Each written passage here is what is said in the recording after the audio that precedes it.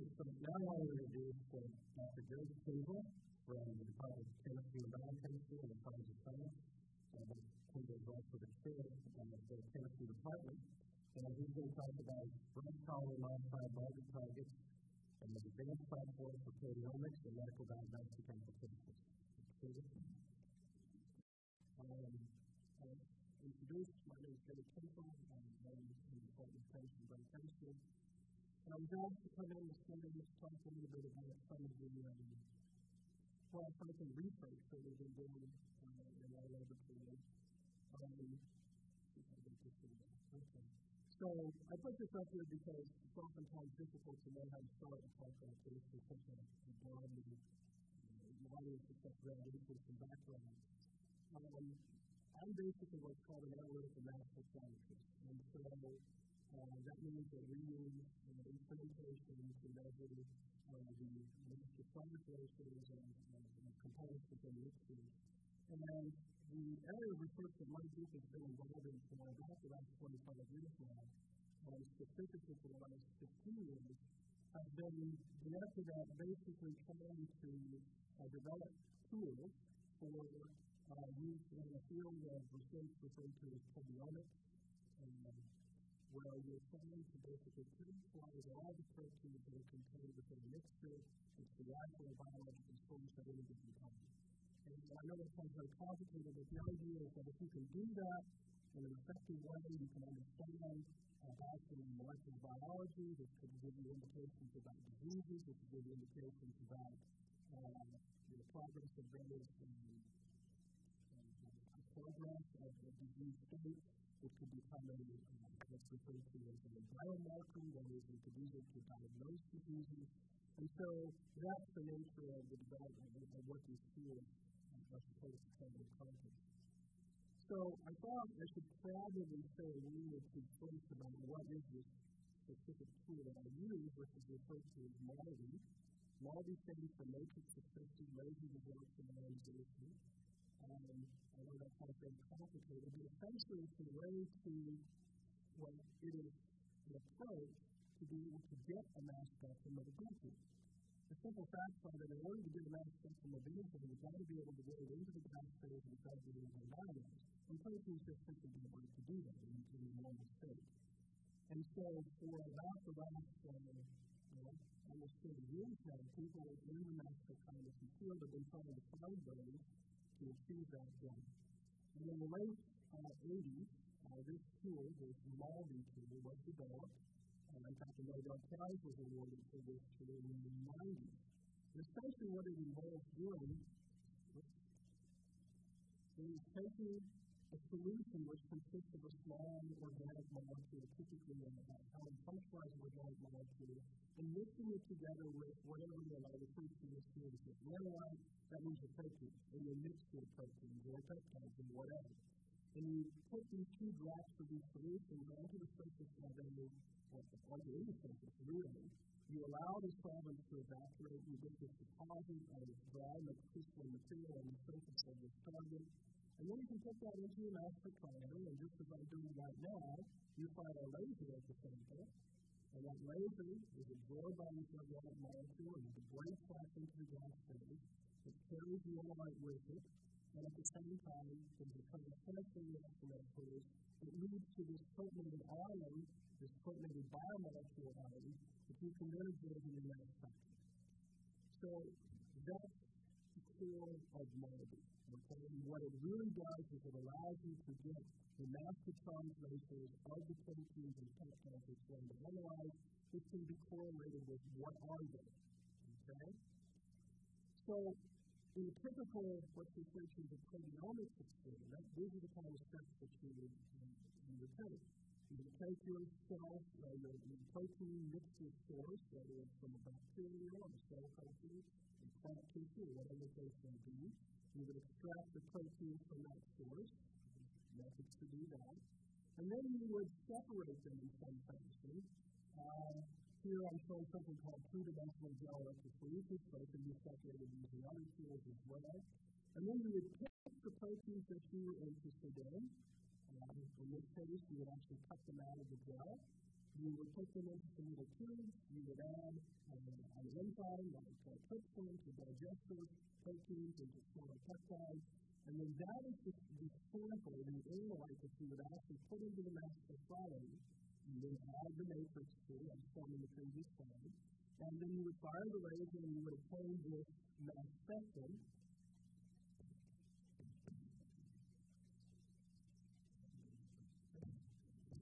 You would obtain the mass spectrum, and this mass spectrum is of the protein that you originally selected.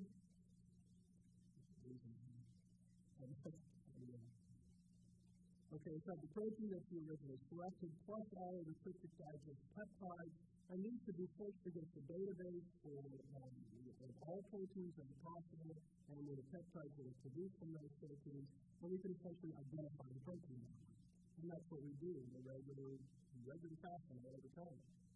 The problem that I should really try to point out here is this step right here, this separation step. Uh, this MALDI part of this can actually take on the of a few minutes. You can do a mass spectrum uh, in under five minutes easily. Whereas the separation step up here can usually take anywhere from several hours to several days, depending upon how complex the mixture is. If you're thinking about wanting to try to characterize in a diagnostic sense, literally thousands of biological samples, and you're going to have to spend days on every one of those analyses, you're looking at uh, years to achieve a result. And that's something that uh, many people have been trying to figure out ways to improve the speed of this overall process. And so uh, that really became a target for us at one point. How can we do the separation step much more quickly and also while minimizing the amount of sample loss so that we can then achieve an overall goal of improving the speed of this process. So where we came at this was by focusing right here, the surface that we are in fact depositing the sample on. And we asked the question, could we, in fact, modify this surface so that we could actually achieve the separation directly on the surface of the MALDI target? And that led to uh, quite a few years worth of work. The basic ideas are something like this. You would have your mixture of peptides, proteins, whatever the case may be you would deposit them onto a surface that has a thin polymer film on it. That thin polymer film would have some sort of an affinity for some subset of those peptides or proteins. That subset of peptides and proteins would then be captured by the surface. We could then add a solvent that elutes the things that are not captured. We move that solvent off onto another target. We can do more work with that if we choose. But the bottom line is we've achieved now a separation via a single step process. And we can now then add our matrix to both of these samples, the one that will capture the peptides and proteins, the peptides and proteins that we remove, and then add the matrix, create the sample, and go forward with the MALDI process. And the idea would be that all of this could be possible to do within, say, a couple of minutes, okay, as opposed to days with the separation processes. So we term this OPAC, one capture MALDI mass spectrometry. And in the original incarnation, we were doing this by using thin polymer films that were deposited using a radio frequency plasma. And I'm not going to spend any time really talking about that, but that technology for depositing thin films is going to cover that. So I'm just going to show an example of a successful outcome here. Here we've taken this mixture that has basically one, two, three, four, five, six, seven, eight, nine different peptides in it. And here's a conventional MALDI mass spectrum of those nine peptides. And what I want to point out to you is that even though there's nine peptides here, you only see these subsets, four, five, six, four, five, six, seven, and a little tiny signal from number three. And if you look over here at four, five, six, and seven, the unique characteristic about them is that all of them are what we would refer to as basic peptides. And this is a classic problem in to analysis by MALDI mass spectrometry. There's something called ion suppression. And what that means is that the basic peptides come to get ionized at the expense of the more acidic peptides. So now, in our technology, what we did is we modified that MALDI target surface to incorporate acidic functions, carboxylic acid functions, and then when we deposit the mixture on there, using the approach that I described in the last slide, Well, we expect that all of the basic peptides, the six negative spaces, which is electrostatic interaction, and that all of the acidic peptides should be removed. They should not want to have an acidic spaces.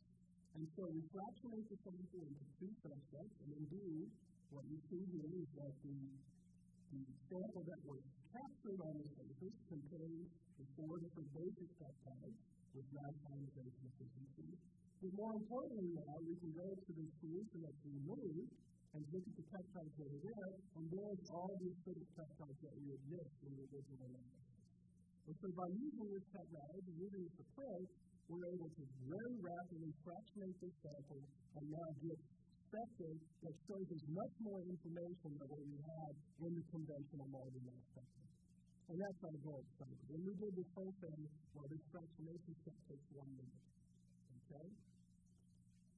So uh, we spent a considerable amount of time uh, working with this over the years. We did lots of different surface modified fractionation steps.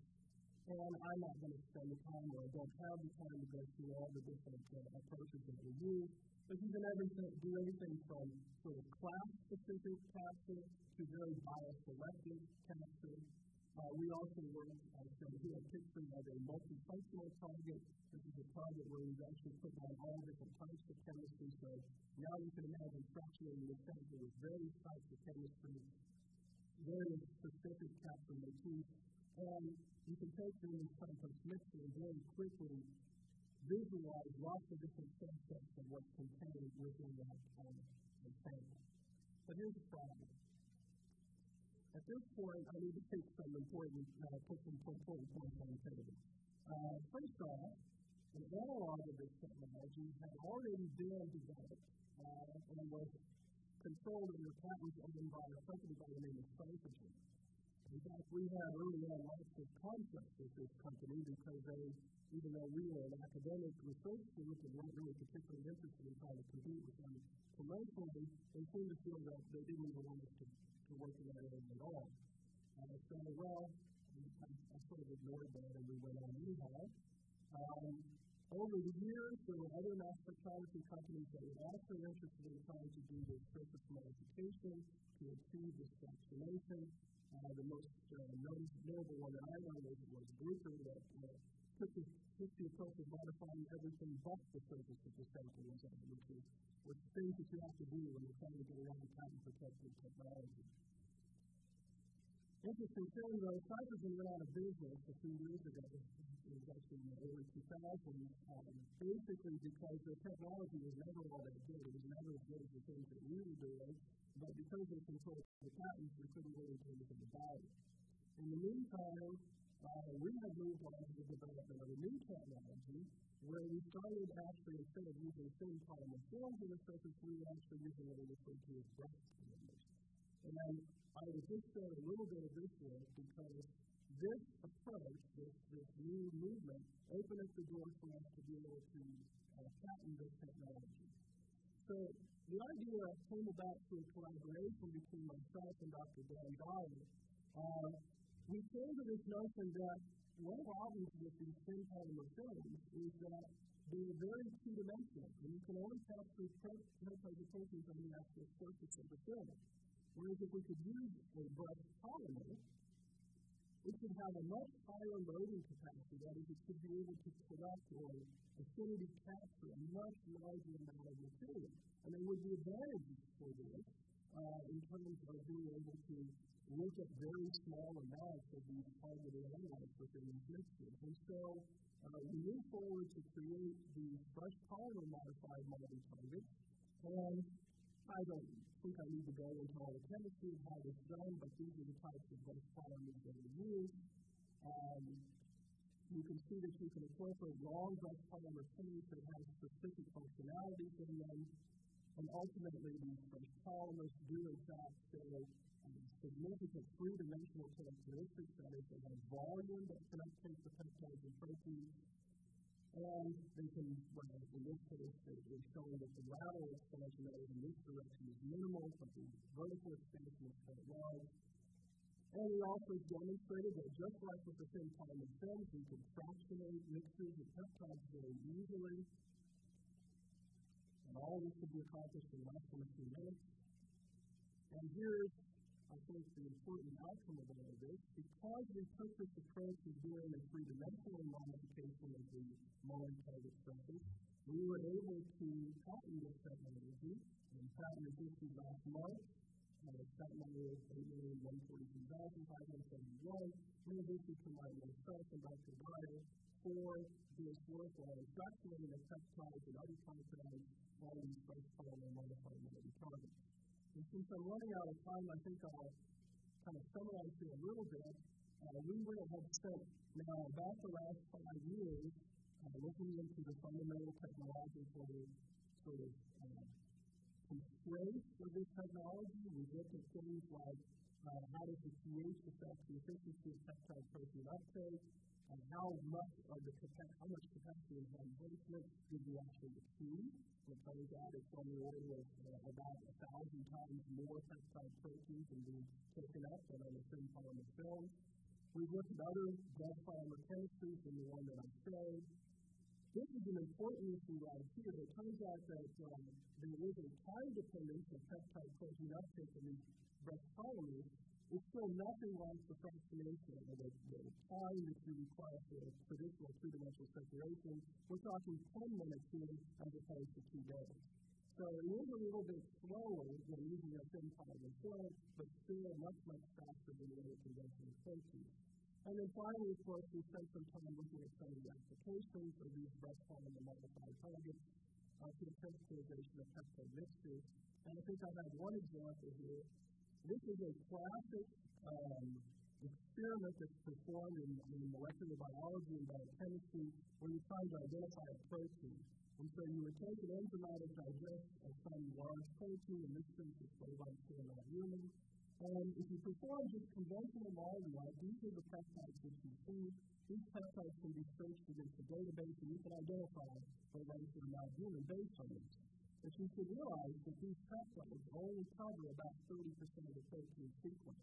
There's about 70% that you do not see in the mass spectrum. The peptides are there, they didn't go anywhere, but you don't see them in the mass spectrum. So then we went on and we decided to fractionate this mixture of peptides on, in this case, it's an acidic uh, brush polymer that has methacrylic acid in it. And now we run the mass spectrum of both the uh, originally absorbed material, that is the affinity passive material, and the eluted material. And what you see, you see all these peptides that are blue, those all new peptides that we did not detect from the conventional spectrum.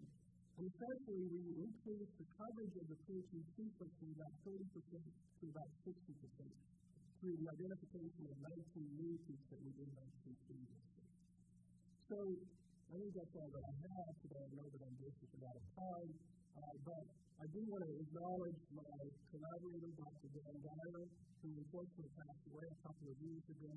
Um, and so uh, we've been carrying on without him. I have a new collaborator, Dr. Colin Scott, who is helping us with the brush polymer synthesis. And of course, I want to acknowledge all the students over the years that have participated in this project and the funding agencies that have supported it, like the Science Foundation and others.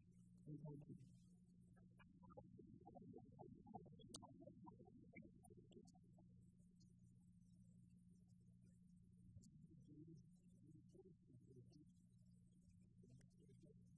God.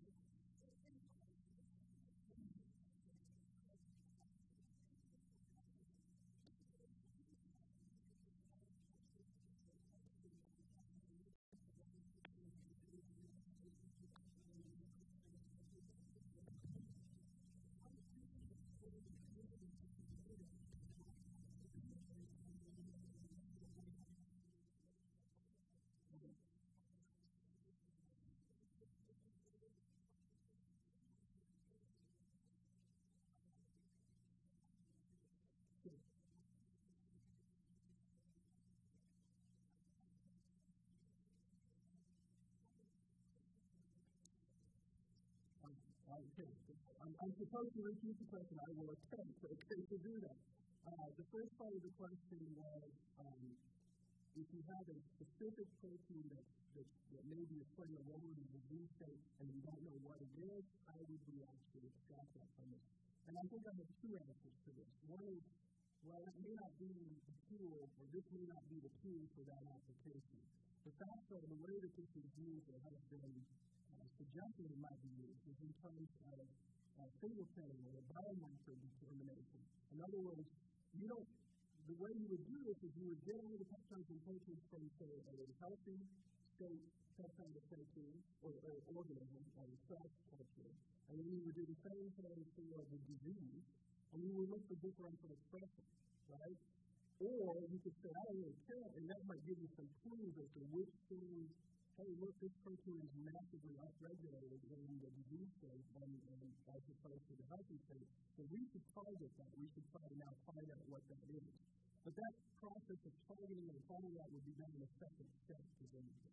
And the other application that we see talked about a lot in this field is using these fingerprints as uh, um, basically diagnostic tools. In other words, I see some upregulation, some downregulation as a function of disease state. Maybe there's nothing very, very obvious. It's not like uh, phosphate in the the PSA is massively upregulated in some disease states. But if there's little changes and they're reproducible, then I have a fingerprint that becomes essentially a diagnostic tool. I can uh, go to a patient, I can take that protein expression, I can do this analysis, and I say your, your, your fingerprint of this uh, uh, expression matches this disease state, I might be able to say, okay, uh, we need to do for testing. Um, the second question that uh, this is about. Oh, Maldi. Okay, well, Maldi, I, you know, I don't have time to talk, but Maldi routinely works on two microliters of samples, so we don't need large volumes of samples. I think you not enough to be able to sense the proteins from the cell, but the proteins are typically very, very small, and they use classic plastic methods like debeating and other ways of opening the cell and extracting the protein. Um, tiny amounts of material really out of the community. Yes,